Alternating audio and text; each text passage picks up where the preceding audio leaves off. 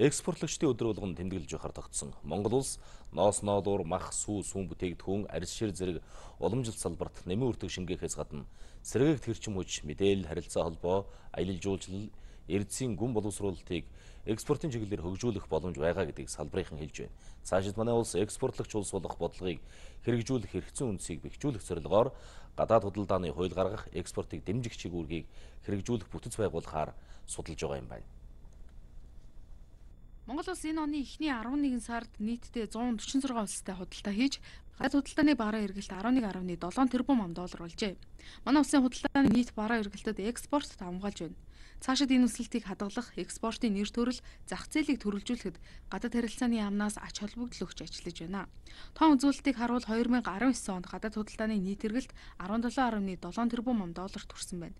Үүнээс экспорт 7.6 тэрбум ам доллар Энэ оны эхний 11 сарын нийт эргэлт 11.7 тэрбум ам доллар. Үүнээс экспорт 6.8 тэрбум ам доллар байна. Гадаад харилцааг эдийн засгжуулах чиглэлд Монгол Улсын засгийн газар анхаарч ажиллаж байна.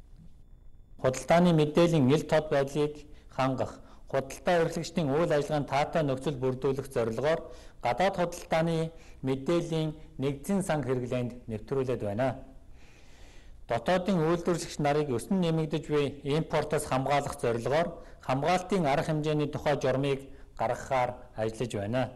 Экспортлогч улс болох бодлогыг хэрэгжүүлэх эрхцэн үнцийг бэхжүүлэх зорилгоор гадаад худалдааны хууль гаргах, экспортыг дэмжих чиг үүргийг бэхжүүлэх бүтэц бий болгох асуудлыг ч мөн судлаж байна. Экспортын зах зээлийг тэглэх экспортлогчдод тарифын болон бусад хөнгөлөлттэй нөхцөл бүрдүүлэхээр олон арга хэмжээ авч ажиллаж байна.